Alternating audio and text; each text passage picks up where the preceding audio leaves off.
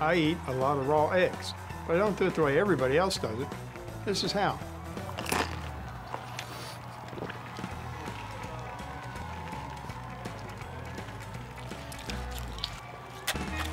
Oh, Wait, what? He went Hulk Hogan. Yo, he's swole though. Dude, he's got better abs than I do. He's just doing pull-ups now. Look at the